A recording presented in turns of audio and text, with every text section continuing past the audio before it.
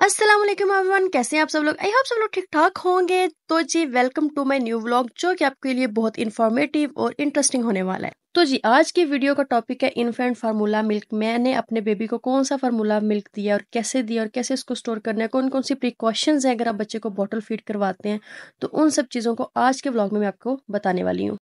सबसे पहले तो अगर आप मदर फ़ीड बच्चे को करवाते हैं तो this is the best thing in the world ठीक है? माँ के दूसरे बेहतरीन गज़ा कोई भी नहीं है। मैं इस तरह की पार्टी बातें क्यों कर रही हूँ? क्योंकि मैंने अपने फ़र्स्ट बेबी को अब मदर फ़ीड करवाया था, पूरे दो साल तक मैंने अपना दूध, मोमना, आमना को पिलाया था। लेकिन सेकंड बेबी के टाइम मैं नहीं पिला सकी तो जिसके लिए मुझे फार्मूला मिल्क पर जो है ना कन्वर्ट करना पड़ा, और उसको पिलाने के लिए बहुत सी प्रिकॉशन से बहुत से झंझट थे जो मुझे करने पड़े वन ईयर तक और वन ईयर तक मैंने मोमना को किस तरह से बॉटल फिट करवाया, वो सारी चीज़ें मैं आपके साथ शेयर करने वाली हूँ। बॉटल फिट करवाने के बहुत से रूल्स हैं, बहुत सी चीज़ें आपको देखनी पड़ती हैं, बच्चा बीमार ना हो, बच्चे को कॉलिक इशू हो जाता है, ये सब चीज़ें। लेकिन मदर फ़ीड में ऐसा कुछ भी नहीं होता। इफ़ यू कैन डू मतलब अगर आप पॉसिबल है, आप बच्चे को माँ का दूध पिलाना चाहते हैं तो प्लीज़ माँ का दूध पिलाएँ। उसके अलावा और कोई भी दूध ना पिलाएँ। एक माँ को ज़्यादा बेहतर पता होता है कि उसके बच्चे के लिए कौन सी चीज़ अच्छी है और कौन सी बुरी होती है और अगर आप नहीं पिला सकते सो मजबूरियाँ होती हैं लेडीज़ के साथ तो infant formula milk is very safe for baby if breast feeding is not possible तो जी, यहाँ पे मैंने जो फार्मूला मिल्क यूज़ किया मोमना के लिए, वो था लेक्टोजिन तो लेक्टोजिन जो है ना, वो ज़ीरो टू सिक्स मंथ के लिए एक अलग होता है. जो मैंने ज़ीरो टू सिक्स मंथ के लिए यूज़ किया था, वो लेक्टोजिन वन था. फिर six to onward twelve month तक लेक्टोजिन टू यूज़ किया था. और अब माशाल्लाह से मोमना वन ईयर की हो गया तो वन ईयर के लिए हम यूज़ कर रहे हैं लेक्टोजिन थ्री जो कि एक साल से डेढ़ साल के बच्चे तक के लिए, ठीक है, बड़े बच्चों के लिए यूज़ हो रहा है। अच्छा उसके बाद जो फार्मूला मिल्क है उसको आपने हमेशा एयर टाइट किसी जार में रखना है। तो मैंने यहाँ पे एक मेरे पास एयर टाइट जार है, जिसके अंदर मैं इसको हमेशा निकाल के रखती थी।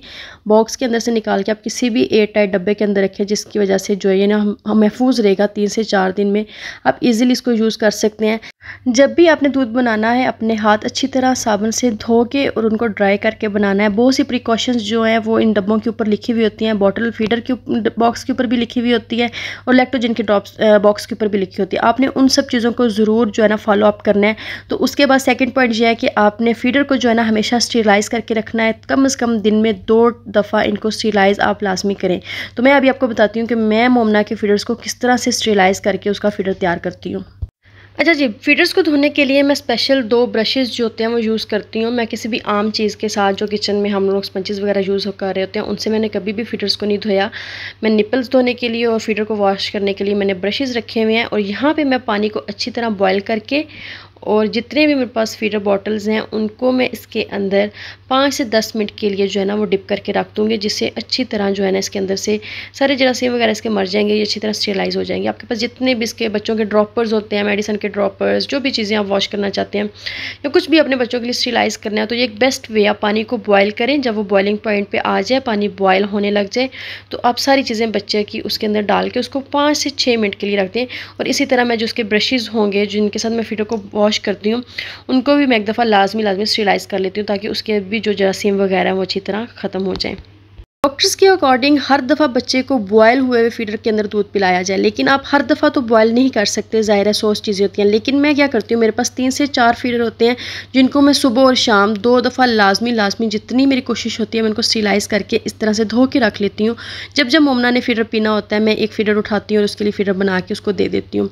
सेकेंड थिंग इज़ दैट कि आपने बच्चे को पानी कौन सा देना है? अगर आप बाहर का पानी देना चाहते हैं, जो कि कोई भी आपको एक्वा ब्लू या कोई भी एक्वाफिना की बोतल मिलती है तो आप वो घर में ला के रख लें और वो बच्चे को दें और कोशिश करें कि ओवन में माइक्रोवेव किया हुआ गर्म पानी बच्चे को ना दें। घर पे चूल्हे पे गर्म वाम वाटर करके उसको किसी भी बॉटल में जो वाम वाटल्स बॉटल्स मिलती हैं, उसके अंदर आप डाल के रख लें। और मैं इसी तरह से अपने घर में पानी गर्म करती थी, नीम गर्म करके उसको बोतल में डाल के रख लेती थी। अगर आप इस तरह नहीं कर सकते तो आप घर वाला उबाल के पानी भी बच्चों को दे सकते सकते हैं। Now the thing is that how to make formula milk formula milk बनाने के लिए आपको पानी की मकदार और पाउडर की मकदार बराबर रखनी पड़ेगी, ना कम और ना ज़्यादा। अगर you are using one ounce water thirty millilitre one ounce is equal to thirty millilitre तो आपको जो फार्मूला मिल्क के साथ जो स्पून मिलती है, उसको भर के ना वो ज़्यादा होनी चाहिए और ना कम होनी चाहिए, बिल्कुल फ्लैट करके आपने उसको वन औंस पानी के अंदर डालना है। लाइक अभी मैं टू औंस अगर दूध बना रही हूँ, मैंने टू औंस पानी डाला है और उसके अंदर मैं टू औंस भरकर फ्लैट करके पाउडर डालूँगी, ठीक है?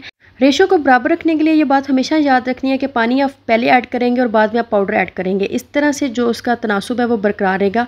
बच्चे की गज़ा में प्रॉपर न्यूट्रिएंट्स ऐड करने के लिए ज़रूरी है कि आप पानी की और दूध की मकदार को बराबर रखें, ना कम करें और ना ज़्यादा करें।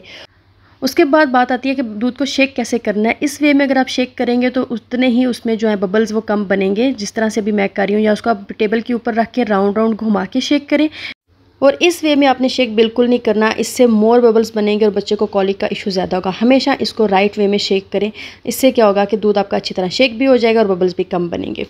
The last thing is that how much milk you should give to your baby बच्चे को कितना दूध देना है और कब देना है, ये बच्चा आपको खुद ही बताता है। अगर बच्चे ने पूरा दूध ख़त्म कर दिया, एक फीडर में जितने ओंस आपने बनाया है, वो फिल फुल फीडर पी गया तो दैट्स मीन्स आपके बच्चे को भी भूख है। अगर बच्चे ने फीडर में थोड़ा सा दूध बचाया तो this is the very good thing ये साइन है कि आपके बच्चे का फुल पेट जो है वो फुल है, उसने अपनी गज़ा पूरी ले ली है और इसको मज़ीद दूध की ज़रूरत नहीं है। अगर बच्चा पूरा दूध पीता है तो दैट्स मीन्स आपको नेक्स्ट टाइम इससे थोड़ा सा ज़्यादा दूध बनाना पड़ेगा। बच्चे को गाय के दूध पे कब लेके आना है? After one year the best age अभी मैं मोमना को गाय के दूध पिलाने की कोशिश कर रही हूँ और जल्द मैं इस पर भी वीडियो बनाने वाली हूँ। अगर आपको मेरी आज की वीडियो इन्फॉर्मेटिव लगी है, अच्छी लगी है तो प्लीज़ मुझे कमेंट करके ज़रूर बताना है। नेक्स्ट मैं आपको ज़रूर बताऊँगी कि बच्चे को गाँव के दूध पर किस तरह से मूव करने हैं और कौन सी प्रिकॉशंस है जो आपको फॉलोअप करनी होगी। मिलते हो आपके साथ नेक्स्ट वीडियो में। नेक्स्ट ब्लॉग में अपना बहुत सारा ख्याल रखिएगा। Tata bye bye